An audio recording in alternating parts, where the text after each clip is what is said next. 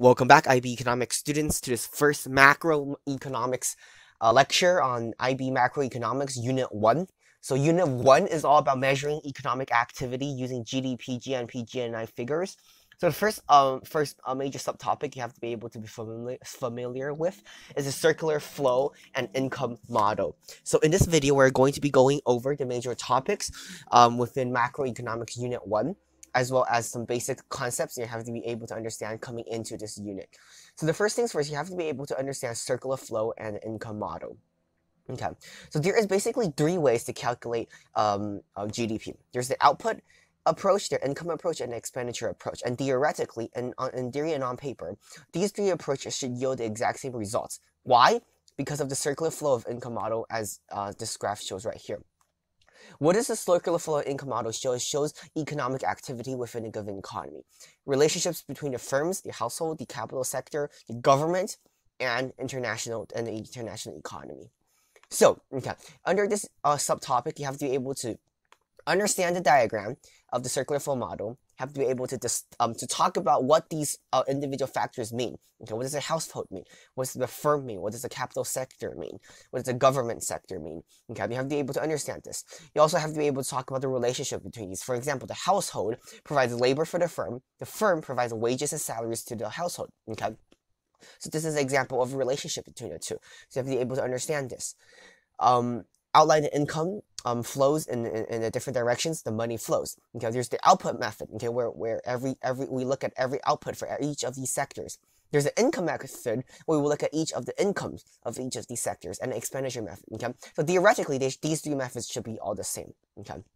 Uh, under this uh, section, you also have to be able to using diagrams to talk about the flow and talk about uh, leakages and expenditures and injections within the market. Leakages, are, for example, are household savings. Okay, so when, for example, when when wages and salaries are paid from the firm to the household, household experience a leakage in the form of savings. Okay, because the money is taken out of the circular flow, is taken out of the flow of the economy, and, and is saved up in a place. Therefore, a leakage occurs.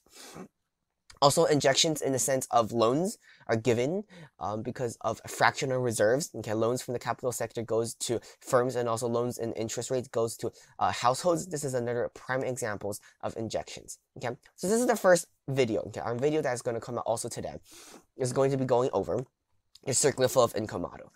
After understanding this, another the second major concept you have to be able to understand talk about is measuring economic activity. Okay? Measuring economic growth, measuring economic activity.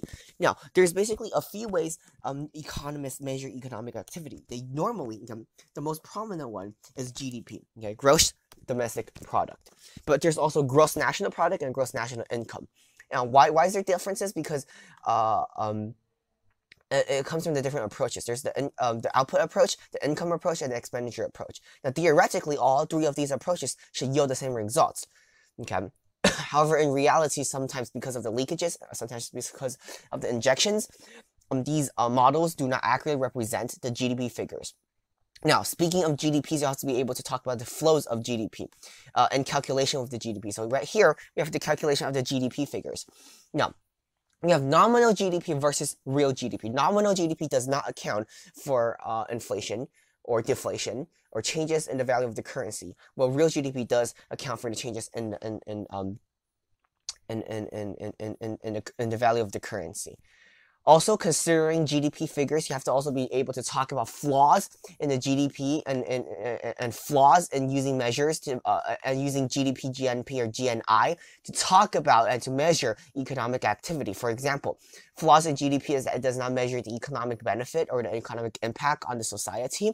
Therefore, green GDP um, is, is implemented, um, also accounting for the uh, for the environmental impact of economic activity. So for HL only students, you have to have to be able to calculate uh, GDP figures using the necessary ingredients, for example, consumption, investment, government spending, exports, and imports. You also have to be able to calculate GNP and GNI figures using the necessary data, gross national product and gross national income.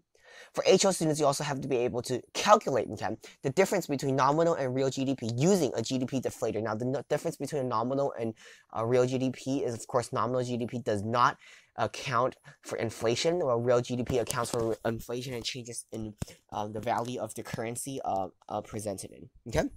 So these are the subtopics and the topics that, that uh, Unit 1 macroeconomics students under the IB system have to be able to understand and have to know.